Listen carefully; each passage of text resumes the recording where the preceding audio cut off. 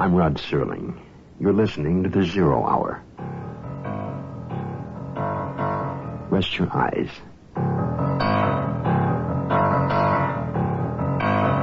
Exercise your imagination. This week, Merwin Gerard's study of a man pursued. Dead Man's Tale. Starring George Maharis. Craig Stevens. And Charles McGraw.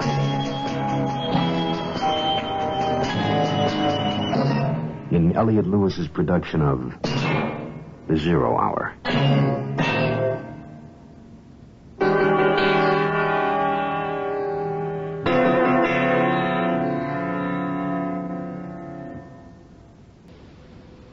It has been four years since Carl Brooks ran from the Delta Hotel after finding an empty briefcase and a dead man. In the interim, he fashioned a new life in a new town and met a girl he'd like to marry. But then he returned to discover his best friend had been executed by the state for the murder. And nothing was right. Things were not as they should have been. Nobody seemed to care that two innocent men were dead. Perhaps because life goes on. But for Carl Brooks, life cannot go on this way. He wants to know why it has. And the more he learns, the more obstacles he meets, the closer he comes to the truth, the more dangerous things become for him. And yet he goes on. Even though for Carl Brooks the price for uncovering the whole truth may well be his life. The conclusion of Dead Man's Tale coming up after this word.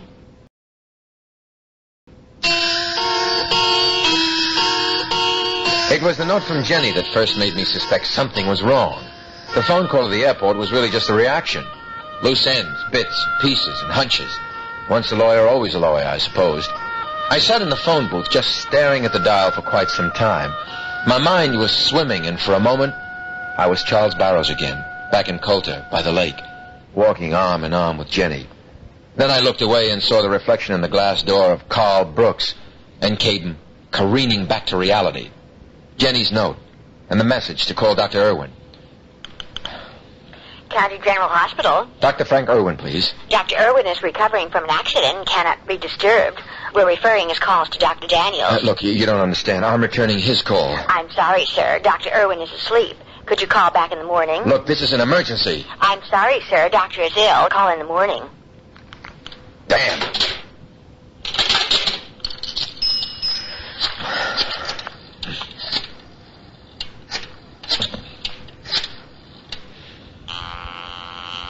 Come on, come on.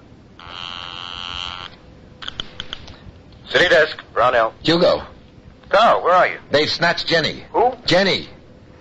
Who's Jenny? Didn't I tell you? Jenny's the girl I met in California. Hugo, she, she's why I came back. I mean, she's my new life. She came into town last night and was going to fly back tonight, Hey, but I... oh, oh, hold on, slow down. You lost me. Well, but they know she's here. I, I'm sure it's a ploy to get rid of me before... Oh, will you calm down? all right, all right. Now, what I can make of your babbling, you, uh, you think Ferris kidnapped Jenny in order to flush you out, right? Right, that's right. Wrong. And I'll tell you why. If Ferris had her, I'd know about it. I've got every informer in town reporting in on the hour, and no one said a word about a woman. This is the first I've heard of it. Believe me, Carl, you've got enough real troubles without making up others. She's around. She'll show up. And if I were you, I'd stay put. Mercer and Ferris are in conference right now. But I have to get the county general. What's up? I don't know, but I have a feeling the whole ball game's on the line. Well, you better get going. The bottom of the knife. If I was ever going to run, now would be the time. I tried to believe what Hugo said about Jenny, but I couldn't shake her disappearance from my mind. I left word at the desk to reroute any calls to me to the Chronicle city desk. I got as far as the corridor in the hospital before a nurse stopped me. Uh, just where do you think you're going? I have to see Dr. Irwin. Keep your voice down. People are sleeping. Visiting hours are over. Look, a man's life is at stake. I'm sorry. Hospital regulations. But Dr. Irwin, what are you doing out of bed? I want to see that man. But doctor... I take full responsibility, nurse. Well, I guess it's all right. But please get back into bed. Hey, Mr. Brooks, come on in. Thank you, nurse. Mr. Brooks. Mr. Brooks, I'm I'm a troubled man. Well, what is it, Doctor? Well, it's about Ellen Wilson. Go on. Ellen's been like a daughter to Edna and me. We we were never blessed with children of our own. Well, I, I worry about her, you know. Like a father worries about his little girl. Then Katie, well, she's my little sugar plum. She tells me how she wishes I were her grandpa. You see, Ellen's parents are, well, they're not the nicest people. Well, to get to the point, Mr. Brooks, I called Ellen this morning to see how she was feeling. She said she was very upset about the trouble you were making for them, and she was sending Katie away to stay with her parents for a while. Now, Mr. Brooks, I'm I'm afraid what I have to tell you now may cause me to break another oath.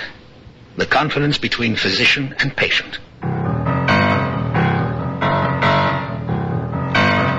What Dr. Irwin told me not only broke an oath, but broke the ice around my frozen memory. I was so close to feeling free once and for all. But there were still things to check out, and one very important locked door yet to be opened.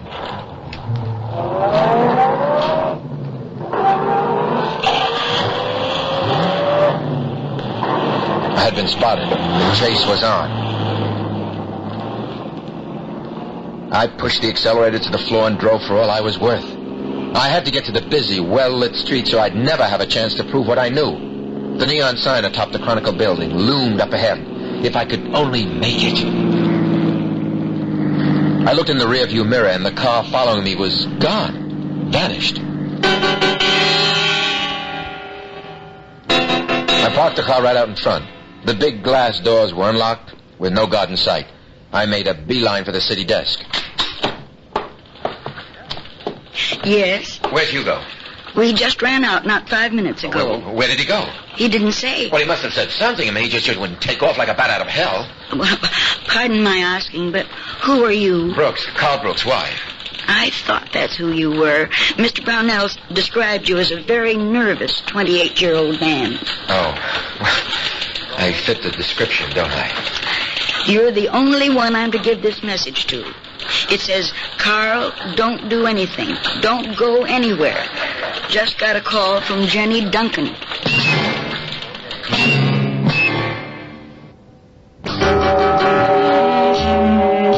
It seemed like every time I tied off a loose end, it knotted up. There was a question mark at the end of each answer. One more hunch. A faint recollection needed satisfaction. I had to get into the newspaper morgue just once more. Surely the woman at the city desk was most cordial, but had no access to the files.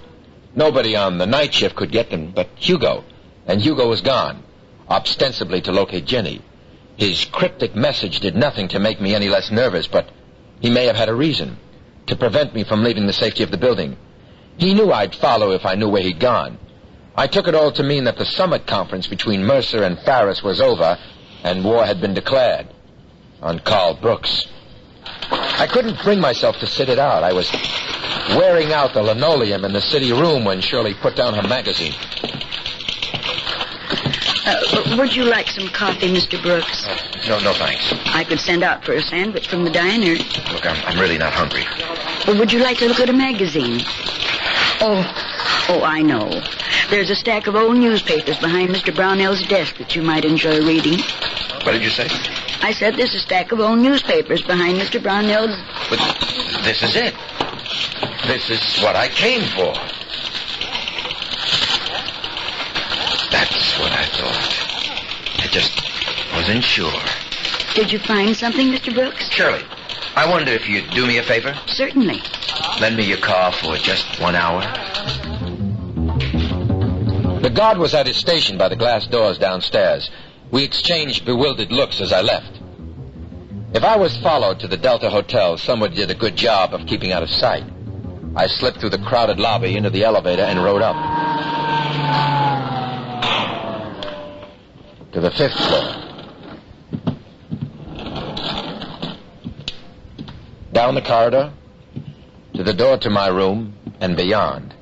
Until I got to the locked door outside what used to be room 515. If only I could get inside.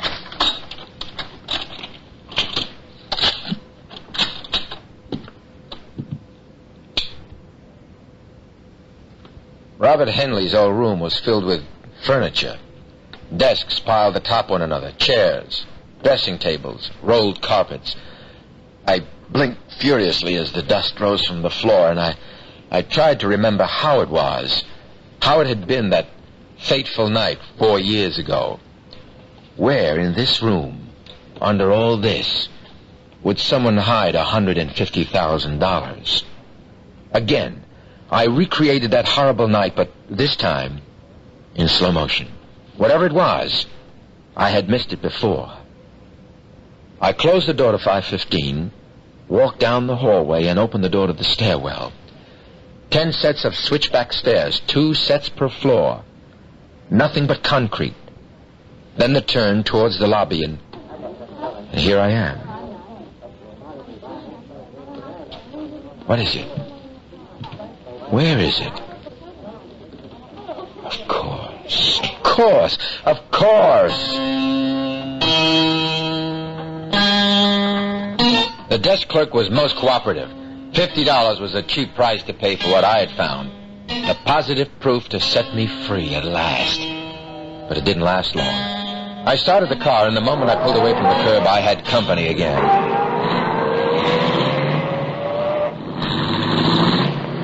I got a good look this time. It was a pickup truck with a single hatless man inside. From the angle of the headlights, I could tell this was my vanishing friend. Then, coming from the other direction, the big maroon touring car. I made a hard turn onto the frontage road leading to the residential track homes. The pickup made the turn, but the big car missed it. I was nearing my destination when. No, I can't be out of gas. Come on, Brooks. Get in. Hurry. Oh, Owen Morse.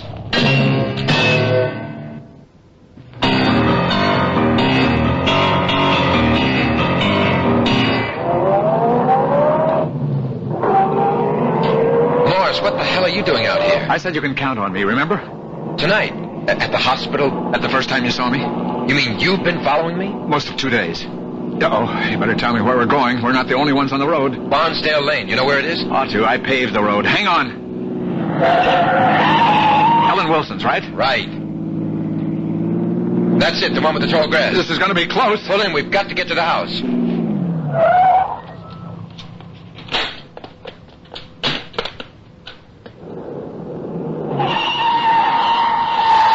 Looks like the string's finally run out. It follows a pattern. There's no avoiding it. What? It's only a matter of time. You can run away or try to escape inside yourself. Morse, will you stay back? They won't shoot unless they're sure we're here. You can't run forever, and if you turn it inside, you end up on the slide.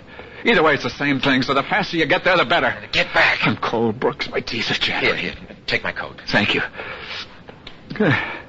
Pretty good fit. Please, keep still. I'm counting on you, Morse. I know. That's why I've got to do this. Morse, no! Wait, come back here!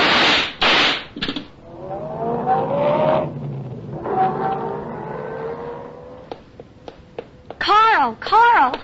It had to come to this. I saw the whole thing. You'll never get away with it. Who is this man? Jenny! Jenny, I was worried sick. Carl. That's Owen Morse. They thought. Well, it's obvious what they thought. They got the wrong man.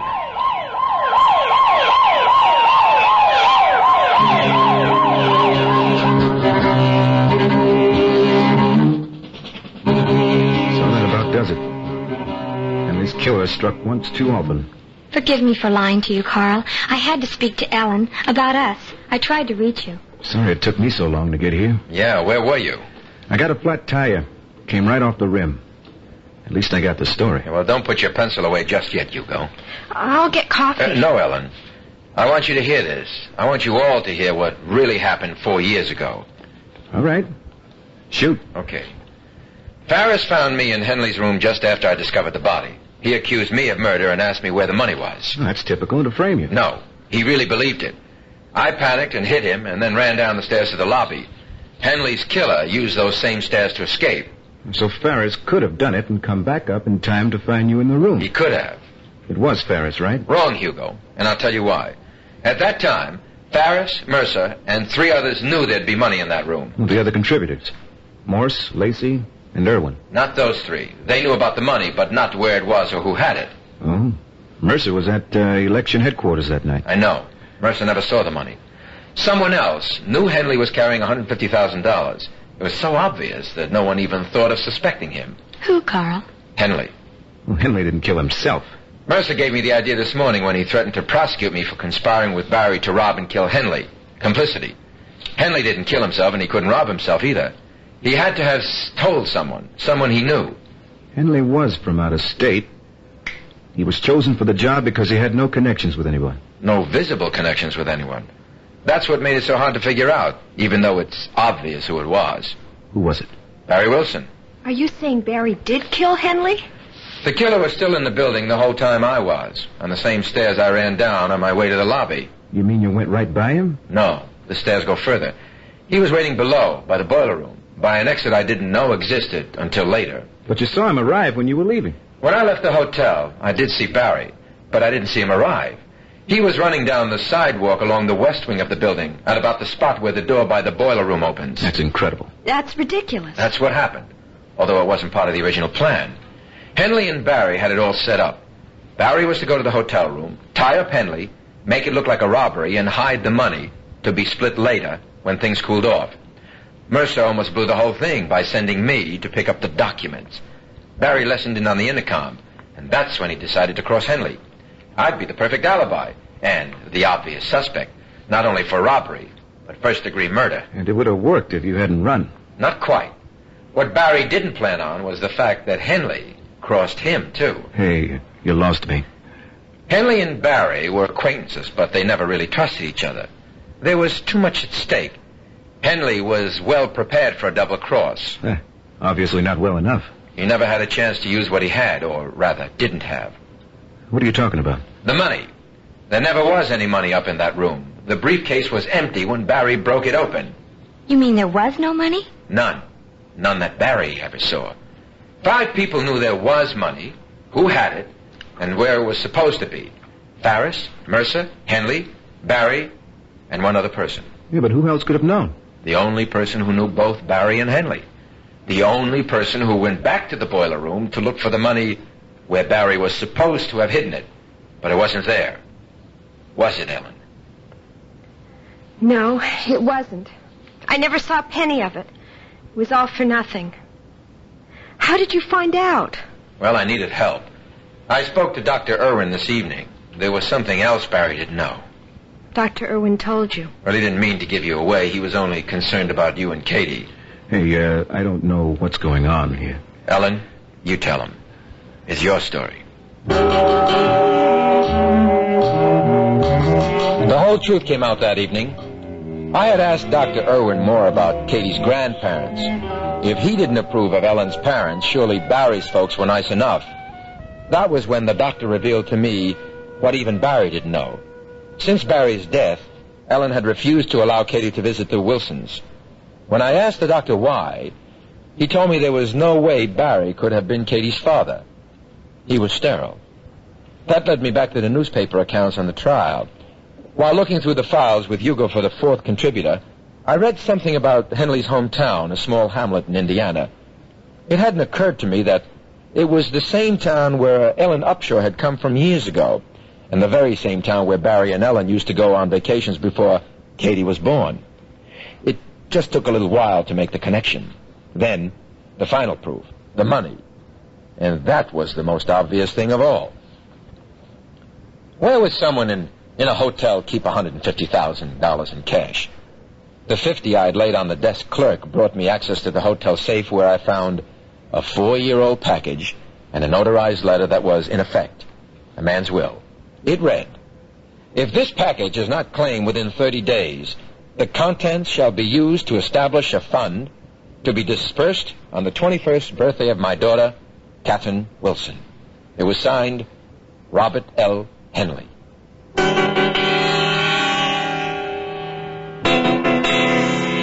Jenny and I caught the morning flight to the coast.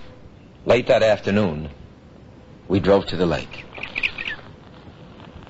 Carl, what's going to happen to Ellen Wilson now?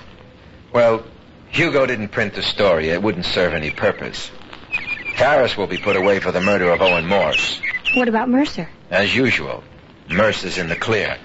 He judged Barry as guilty for all the wrong reasons, but he did convict the right man. So I guess they'll all live happily ever after.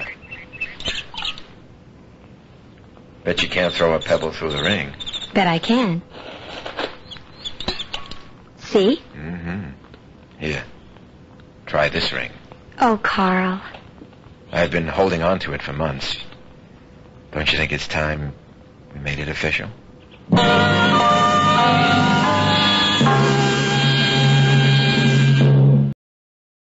That concludes this week's production of The Zero Hour, Merwin Gerard's Dead Man's Tale. Next week we'll begin another exciting dramatization of a tale of mystery and suspense. We'll tell our story in five days, at the same time Monday through Friday. So on Monday, rest your eyes and listen here to The Zero Hour.